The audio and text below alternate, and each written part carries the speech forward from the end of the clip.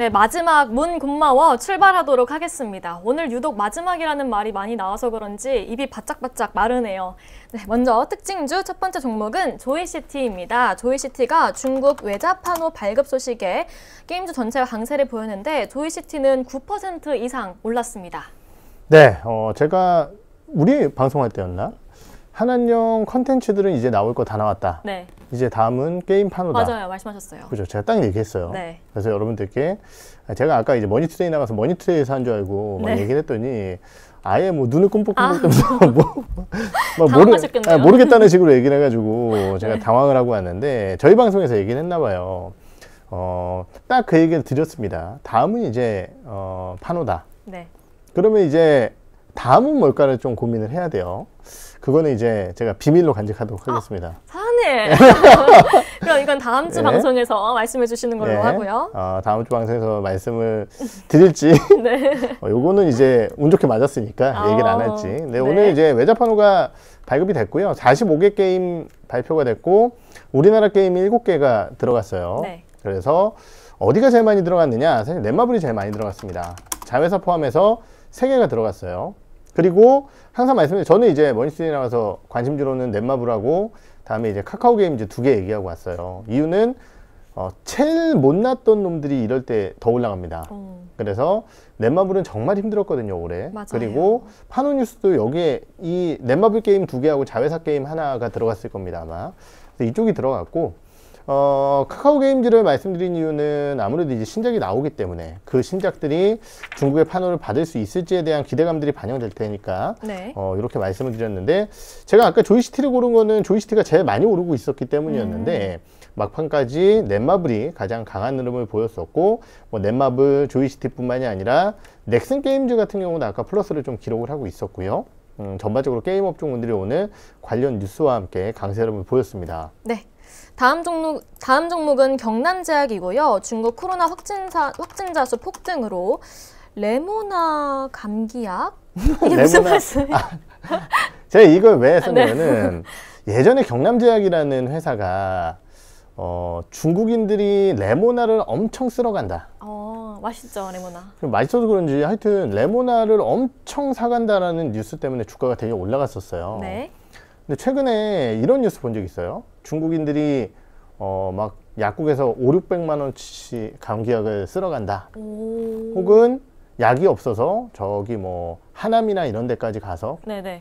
어, 약을 구매한다. 어. 이런 얘기가 나오고 있습니다. 네. 그리고 중국에 이제 친척이 있으신 분들이 몇십만 원어치 감기약 사서 중국으로 음. 보내고 이런 일들이 좀 발생이 되고 있는데 지금 이제 중국인들이 들어온다라는 거죠. 그러면은 얘네들이 뭐 살까? 네. 어, 감기약 살 거고 어, 레모나도 옛날에 많이 먹었으니까 사갈 건데 음. 그 같이 하는 회사가 경남제약이니까 네. 그래서 오늘 이제 어, 경남제약으로 어, 지금 이 특징주를 좀 말씀을 드립니다. 네. 음. 장중에는 25% 가깝게 올랐고 지금은 11.78% 음. 보이고 있습니다.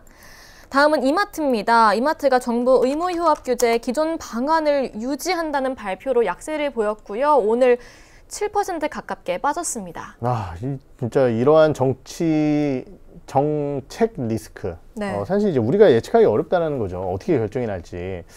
근데 불과 이제 어, 그저께 우리 김명주 수석께서 대구 지자체 네. 어, 휴일 어, 그러니까 주말이었던 의무 휴일을 이제 주중으로 음. 대체하는 방안 이 얘기하면서 기대감이 있다라고 얘기를 하셨는데 갑자기 또 이런 뉴스가 나오게 되면은 사실은 투자자들 입장에서 혼란할 수밖에 없고 네. 이마트가 4분기 실적이 안 좋을 것 같은데 주가가 올라왔었던 이유는 제가 보기에는 이 어, 규제 완화 때문이었습니다. 음. 그런데 그런 뉴스가 안 나오니까 어, 아 그런 뉴스가 좀 잠잠해지니까 음. 오늘 이마트가 많이 빠진 게 아닌가 이렇게 봐야 될 것 같아요. 네. 다음은 애플과 굉장히 밀접한 종목이죠. LG 이노텍인데요.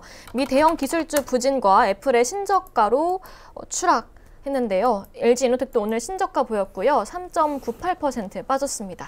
혹시 이제 해외 주식 관련된 이미지 뭐 사진 이런 거에서 사진이 이렇게 문들을 이렇게 지나가고 마지막에 이제 애플이 벌벌 떨고 있는 사진 혹시 본 적 있어요? 어, 저 못 봤어요. 어, 시작은 이제 넷플릭스였고 넷플릭스, 메타, 알파벳, 다음에 어, 아마존, 테슬라를 거쳐서 거기는 이제 다 kill을 시켰어요. 네. 다 피 흘리고 있고 남아 있는 게 애플이었어요 지금. 아. 네, 딱 그래서 이제 약간 벌벌 떠는 듯한 눈에 네. 이제 애플 마크가 크게 있는데 애플 로고가 거기에 이제 사진이 낫을 들고 가는 사진이 있습니다. 음, 근데 제가 보기엔 이제 애플도 살짝 멱을 따인 거예요.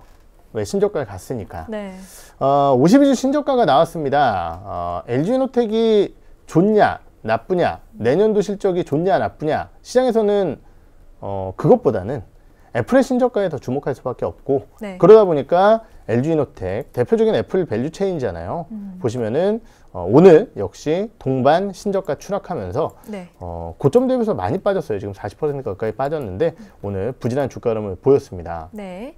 다음 종목은 대한항공입니다. 실적 우려와 중국발 여행객 각국 규제 확산 부담감으로 오늘 6% 가깝게 빠졌네요. 아니 언제 이렇게 많이 빠진 걸까요? 그러니까요. 오늘 이제 네. 그런 뉴스 있었어요.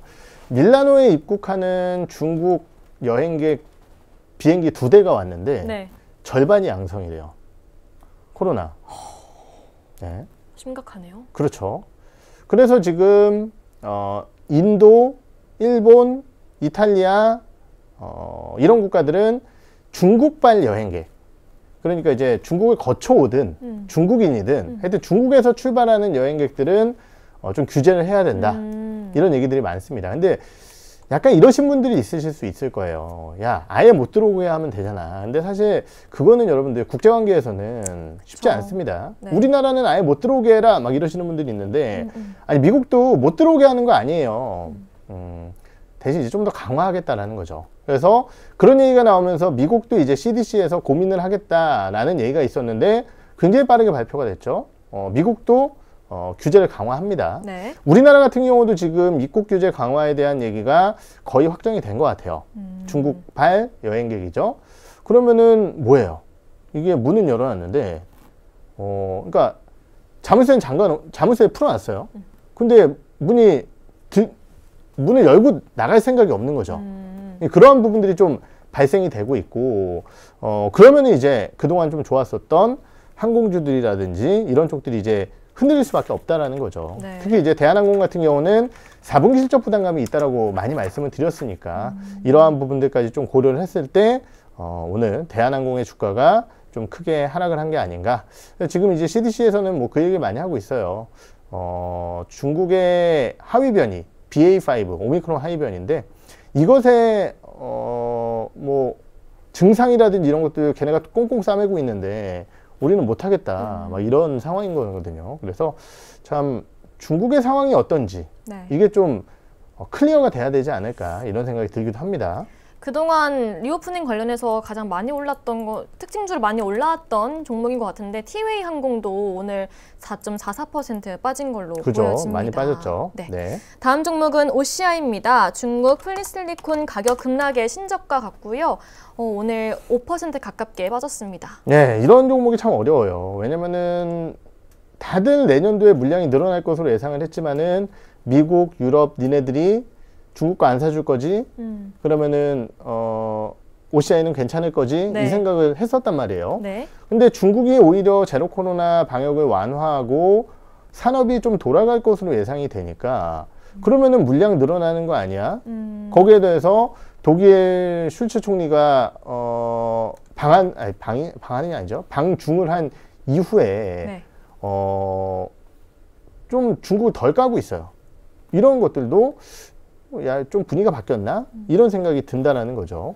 그래서 어떤 일이 있었느냐 여기 보시면은요 하나 솔루션을 보자라는 게 아니라 이 뉴스를 봐야 된다라는 거죠. 네. 그래서 PV 인사이트에 따르면 폴리실리콘 가격 같은 경우는 크게 이제 어, 예, 이거는 뭐 전 세계 시장에서 공통화된 건 아니고요. 네. 중국 쪽하고 뭐 독일 쪽하고 이렇게 발표하는 것들이 중국도 시세가 뭐 두 개인가 세 개 있죠. 좀 다른데 21일 기준 폴리실리콘 현물의 주간 평균 거래 가격이 전주 대비 12.4%가 빠졌습니다. 이게 한 주 만에 이렇게 빠진 거예요. 네. 그리고 같은 기간 웨이퍼는 5%, 셀 6%, 모듈은 1% 빠졌습니다. 그러면은 하나 솔루션은 원재료가 12% 빠지고 모듈 가격은 1% 빠졌으니까 이만큼 더 버는 거예요. 근데 OCI는 폴리실리콘을 팔아먹는 회사인데 가격이 이렇게 빠졌다라고 하니까 주가는 급락을 하고 있다는 거죠. 그래서 OCI 뭐 우리가 여러 가지 기대감을 가졌지만은 결국은 늘어나는 수- 공급을 이겨내지 못한 어, 신저가의 흐름이 아닐까 이런 판단이 들어서 오늘 OCI 하락 특징주로 좀 말씀을 드리겠습니다. 네, 다음은 곰마워 키워드인데요. 저는 키워드 보자마자 좀 무서워서 이걸 말해도 되나 싶은데 3천에서 2천, 1000에서 600까지 아 이거는 아, 이제 코스닥 코스닥 말씀하신 거잖아요. 네. 그렇죠? 간다는 건 아니고 네. 음, 그리고 이제 뒷자리 뗀 거예요. 너무 네. 걱정할 필요는 없고 오늘 이제 올해 지수를 한번 보죠. YTD로 한번 보시게 되면은 네. 올해 이제 출발 지수가 얼마였냐면요. 2,998포인트였습니다. 와. 어, 사실 이제 뭐 배당락 반영이라든지 이런 것들 고려해 보면은 사실 뭐 3,000 넘게 이제 느껴지는 지수 흐름인데요. 그리고 이제 2,988포인트에서 네. 2,134포인트라는 저가를 찍고 낙폭을 좀 줄이긴 했지만은 어, 2,230대로 마무리가 될 걸로 보여집니다. 음. 코스닥 같은 경우도 네, 마찬가지죠. 코스닥이 출발은 시가는 1,038포인트였어요. 네. 그리고 저가가 650포인트였습니다. 음. 그러니까 고점 대비해서 딱 330, 아, 389포인트가 빠졌어요. 네. 정말 어마어마하게 빠졌거든요. 음. 어, 그래서 우리가 이제 연초에 예상하지 못했어. 전혀 예상하지 못했었던 네. 그 지수대를 확인을 했다라는 거고, 연말 시장의 부진 흐름과 함께 결국은 어, YTD로 낙폭을 크게 줄이지 못하고 마무리가 됐다. 이러한 부분들을 우선적으로는 좀 말씀을 드리려고 약간의 공포적이지만은 네. 이런 키워드로 좀 준비를 했고 사실 올해는 뭐 내년 전략 1월 2일 날 어떻게 될 것 같아요 이런 거를 말씀드리는 거는 뭐 크게 의미는 없을 것 같고 음. 뭐 많이 말씀드렸지만은 미국 시장의 안정화 단기적으로 나올 수 있는 수급 네. 그러니까 이런 말씀을 드렸잖아요. 우리가 이제 이런 걸 기대했었죠. 결국 이제 얘네들은 나갈 수급. 요거 더해서 요만큼 나갈 때까지는 나갑니다. 나갈 건 나가요. 그런데 그 영향력이 여기가 크냐, 여기가 크냐에 따라서 사실은 산타랠리가 있냐, 없냐로 해석을 할 수 있는 거거든요. 근데 이렇게 매수세가 들어올 때도 사실 시장이 그렇게 좋지 못했었어요. 네. 그러다 보니까 약간의 희망 회로를 돌리면은 그래도 나갈 때도 좀 덜 터지겠지 이 생각을 했던 거예요. 그런데 막상 뚜껑을 열어보니까 역시 금융투자의 기계적 매도는 상당히 기계적으로 그냥 강하게 들어오고 네.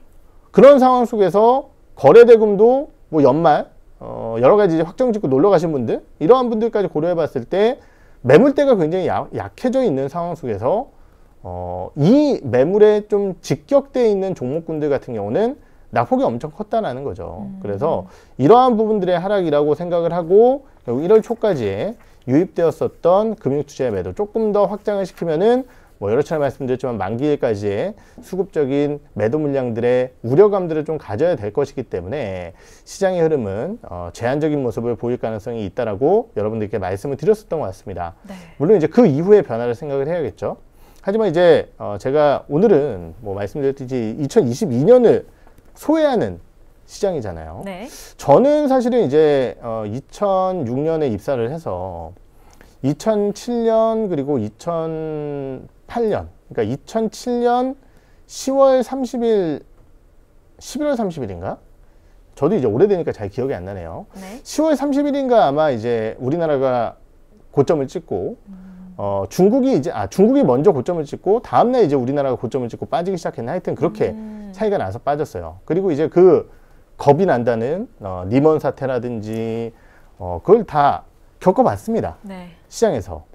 근데 이제 여러분들께 드리고 싶은 말씀은 그때는 시스템 리스크였고 어 경험해보지 못한 리스크 요인이었어요. 네. 어, 그리고 이후에 이제 2009년부터 강한 시장의 반등 흐름을 보였죠. 정책 요소라든지. 근데 저는 그렇게 생각을 하면 아까 이제 박정찬님께서 많이 얘기를 하셨지만은 계속 죽는 시장은 없어요. 어, 10년에 한 번씩 오는 위기설, 그 여러 가지 굴곡을 딛고 지수는 우상향을 했어요. 네. 올해도 사실은 저는 금융위기 때보다 더 힘들었어요, 사실. 어떤 부분에서 힘드셨어요? 그러니까 그런 거죠. 그때는 그냥 싹 다 안 좋았어요. 음. 근데 지금 같은 경우는 어 그래도 되는 종목군들과 안 되는 종목군들이 좀 있었거든요. 네. 만약에 이제 되- 안 되는 종목군들을 들고 계신 분들은 되는 종목군들을 보면서 더 음. 자책을 하고 힘들 수밖에 없다라는 거죠. 말씀드렸지만 금융위기 때는 그냥 다 안 좋았어요. 너도 안 좋고 나도 안 좋으니까 다 같이 행복합니다. 언제나 아 행복하다기보다는 네. 상대적으로 덜 불안한 게 불행한 게 없어요. 네. 지금 이제 올해는 그런 시장이었다라는 거죠. 그래서 분명히 올해 굉장히 힘든 시장이었고 그러면 올해 시장의 하락은 어떤 하락이었느냐? 역시 저는 경험해보지 못했던 하락이라고 생각을 해요. 왜냐? 갑자기 러시아, 우크라이나 이런 큰 전쟁, 코로나 팬데믹의 종류라는 것도 우리는 처음 경험을 해봤고요. 물가지수의 상승, 뭐 저보다 오래되신 분들이야. 어, 왜냐면 이제 방송 시청자층 분들이 아무래도 저보다 나이가 있으신 분들이 있으시니까. 야, 나는 오일 쇼크도 경험해봤어. 음. 근데 사실 지금 이제 투자하는 40대 혹은 뭐 40대 후반까지의 투자자들은 오일 쇼크라는 것은 경험해보지 못한 어, 그들의 삶에서 네. 그리고 투자적인 측면에서는 더욱더 경험을 못 해봤겠죠. 그러니까 경험을 못했던 일이라고 생각을 하는 게 맞다라고 판단을 합니다. 그리고 내년도에는 이런 요소들이 어, 조금씩 줄어들 거라고 생각을 해요.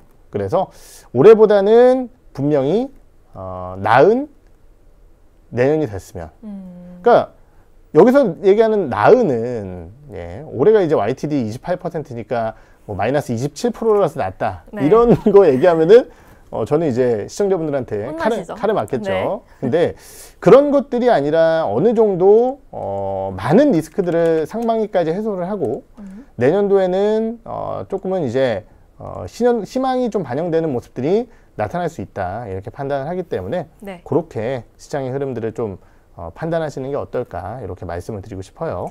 네, 오늘 코스피, 코스닥 마감 시황 좀 말씀을 드리면요. 오늘 코스피는 1.93% 빠진 2236.40으로 마감했고요. 상승 종목 112개, 하락 종목은 791종목이었습니다.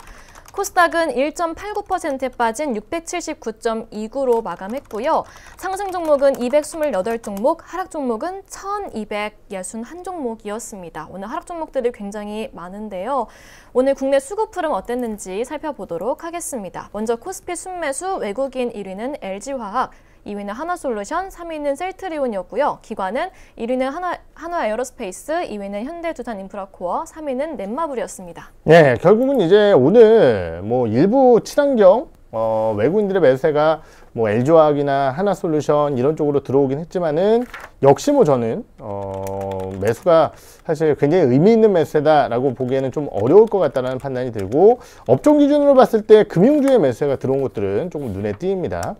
어, 반면 이제 기관들 같은 경우는 한화 에어로스페이스, 뭐 요새 이제 방산주 좋다라는 점 어제 이제 말씀을 드렸었던 것 같고, 네. 넷마블 같은 경우는 오늘 뭐 이슈가 있었다 보니까 빠르게 끌어올렸죠. 그리고 이제 기관들 같은 경우는 여전히 어, reopening 음. 쪽 어, 관련주 그리고 방산 이쪽에 집중한 흐름이었다라고 볼 수 있을 것 같아요. 네, 다음은 순매도 보겠습니다. 외국인 순매도 1위는 삼성전자, 2위는 포스코홀딩스, 3위는 현대모비스였고요. 외- 기관의 순매도 1위는 삼성전자, 2위는 포스코홀딩스, 3위는 삼성 SDI였습니다. 네, 삼성전자 같은 경우는 뭐 어, 외국인 기관 매도가 이렇게 많이 나오면은 1등으로 잡힐 수밖에 없는 대표적인 기업입니다. 그에 반해서 이제 조금 눈에 들어오는 것은 기관 쪽에 네. 대한항공의 매도가 있었다라는 점이고요.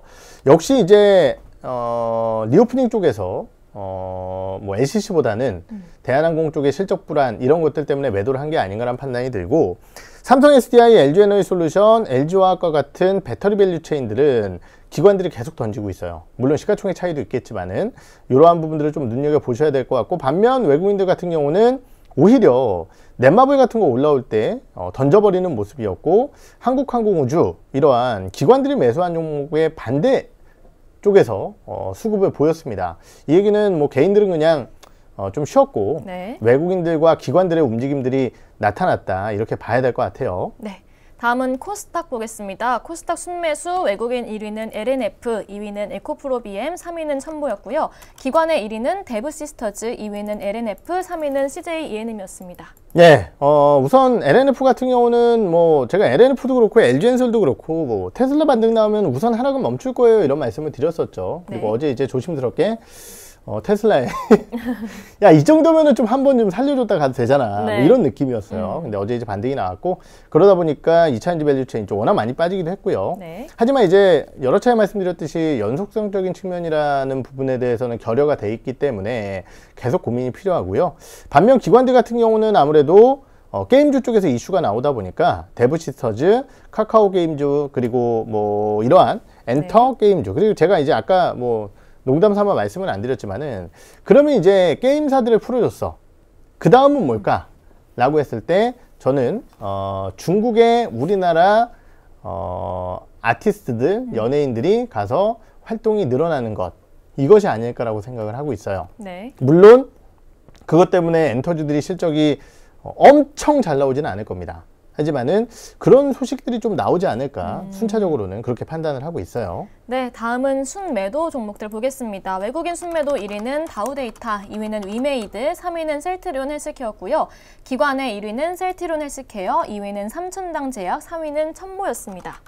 네, 어, 매도 종목군들을 보시면은 결국은 이제 어, 외국인들 같은 경우는 주가가 어, 아니, 기대감이 좀 생겼음에도 불구하고 게임주들 어, 이런 쪽들 매도를 했어요.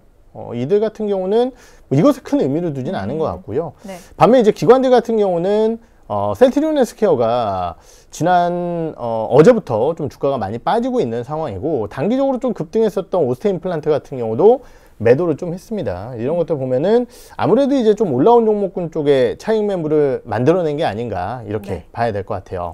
네, 이렇게 국내 수급 흐름까지 살펴봤습니다. 그리고 2022년 곰마워도 끝이 났습니다. 아, 코로나며 전쟁이며 좀 여러 요인들로 힘들었던 이 격동의 시장이었는데요. 이런 어려운 시기에 저희와 함께 고민을 나눠주신 여러분께 정말 진심으로 감사드립니다. 제가 이렇게 말이 많아진 이유는요, 여러분, 저도 마지막 방송입니다. 아, 네. 제가 또 회사에서 더 주력해서 좀 일을 해라 하는 게 있어가지고 방송을 내려놓게 됐는데요. 저도 방송하고 싶습니다, 여러분. 제가 제가 보고 싶으시다면 클립 영상에 문돈이 보고 싶다고 문정선 사원 잘 있냐고 댓글 달아주시면 제가 언제든 달려와서 이렇게 저 잘 있다고 저 금방 돌아가고 싶다고 댓글 달, 달도록 하겠습니다. 어, 주린이었던 저를 믿고 이 방송을 맡겨주신 사장님과 그리고 박 팀장님 그리고 피디님들께 정말 감사드리고 무엇보다 항상 저에게 잘하고 있다고 응원해주신 여러분들께 진심으로 감사드립니다. 여러분 저 잊으시면 안 돼요. 새해 복 많이 받으시고 여러분들은 남들보다 더 많이 받으시고 어, 2023년으로 돌아오겠습니다. 아직 아직 끝내지 마요. 그래요?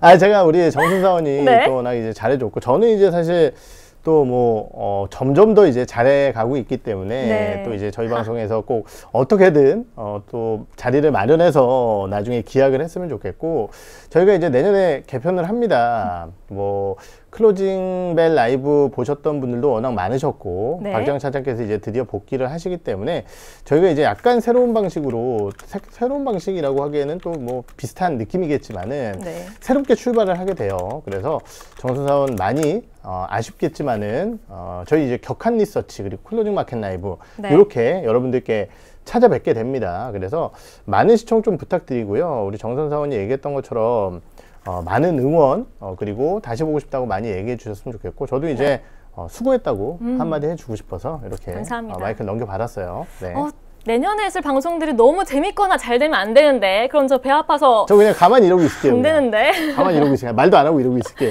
지켜보겠습니다, 사장님. 네, 네. 여러분 그동안 정말 감사했습니다. 어, 다음 주에 뵙겠습니다. 감사했습니다. 감사합니다.